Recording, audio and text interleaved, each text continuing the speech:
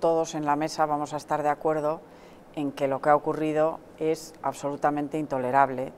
y despreciable y, es una prueba de que Cataluña está en manos de unos eh, grupos subversivos que no respetan la democracia ni respetan la libertad y que atacan al discrepante eh, desde las propias instituciones y desde el propio poder. Creo que esto es intolerable y que se deben de tomar las medidas eh, legales, jurídicas, eh, que sea necesario y, depurar responsabilidades. Y en la semana que queda todavía de campaña electoral se debe de garantizar eh, la libertad y la igualdad de condiciones de Vox a la hora de hacer campaña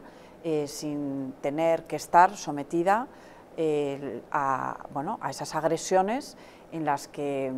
bueno, se les ha atacado de tal manera que, les han podido causar incluso graves daños físicos. Las dos furgonetas que, llevó Vox a,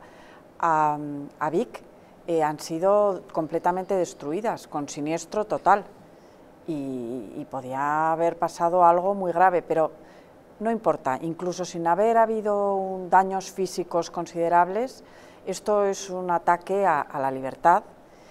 y además, mm, bueno, eh, aquí lo que subyace es, pues eso, el odio, el odio a España y el odio a los que quieren eh, revertir esa situación de sometimiento y de miedo y de falta de libertad que existe en Cataluña. Es absolutamente deplorable y, y muy, muy, muy triste y muy preocupante. Ana Ruiz,